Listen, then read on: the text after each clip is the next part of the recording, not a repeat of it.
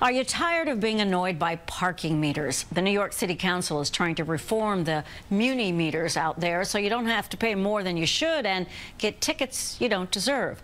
CBS 2's political reporter Marcia Kramer gets to the heart of the meter. It's a common refrain from drivers who feel they're being kicked to the curb by the city's Muni meter parking system.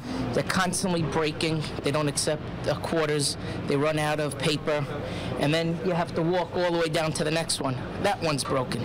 So then you have to walk across the street to find the meter that's working. And then by the time you get back, there's a ticket already on your car. It's very frustrating because I won't park near a meter for no money because you're guaranteed a ticket. Two Midwood businessmen talking about defects in the city's Muni meter parking system that has not only cost them mucho dinero in tickets, but is driving customers away as well. I'm very angry, yes, and they don't want to shop here. They don't want to come here. They said I can't get parking. The city council is, you should pardon the term, riding to the rescue, eliminating what they call the dreaded gotcha tickets from 13,000 Muni meters. We are trying to make the gotcha ticket something of the past in the city of New York. We want to stop taking money out of people's pockets that we don't have a right to take. The council is introducing legislation to reform the payment system so the meters only accept money when drivers are required to pay. If metered parking expires at 7 p.m., the machine shuts off.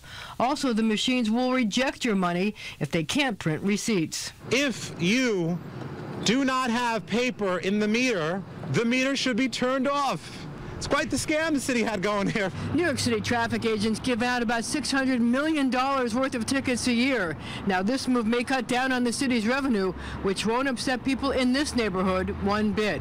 In the Midwood section of Brooklyn, I'm Marcia Kramer, CBS 2 News. The reforms will also allow meters to accept payment an hour before parking rules start. So if you have an appointment, you don't have to run out in the middle to feed the meter.